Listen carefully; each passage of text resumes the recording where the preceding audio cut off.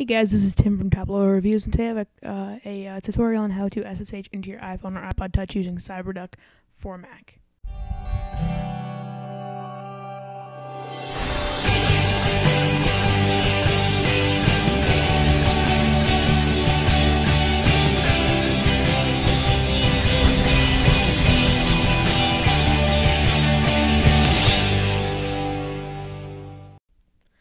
So the first thing you're going to do is obviously download CyberDuck, and you're going to need to download a couple things for your iPhone, which I'll either put on screen or put in the description.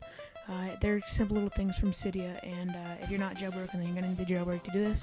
Because uh, the reason I'm making this video is because the last the newest jailbreak just came out a couple days ago, and a lot of people are new to jailbreaking and they don't know how to do this basic function. So I'm just going to show you guys how to do it real quick.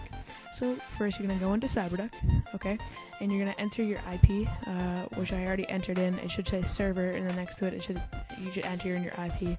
Um, but I I'm blurring out my IP because I don't want any weird hackers.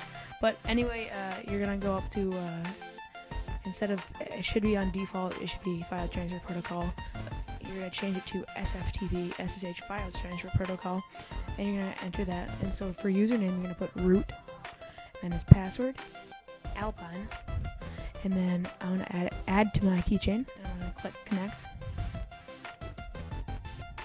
And it says unknown host key, and I'm just going to click allow, and it should pop up on your iPhone to uh, request uh, for use, but uh, online I changed it so it wouldn't do that anymore. So uh, here's your iPhone, and you can basically download a theme from wherever you want. And I'm just gonna go into uh, VAR real quick, and here's all my stuff. And so if I wanted to, let's say, um, maybe.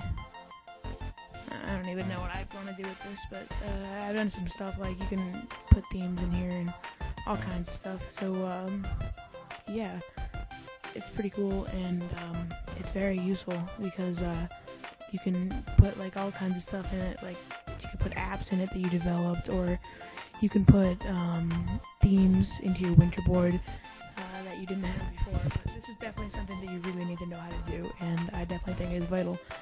And so, guys, if you enjoyed this video, make sure you subscribe to my channel. It's youtube.com slash Great.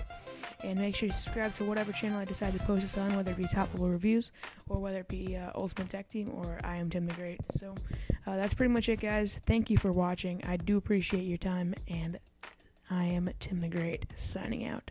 Peace.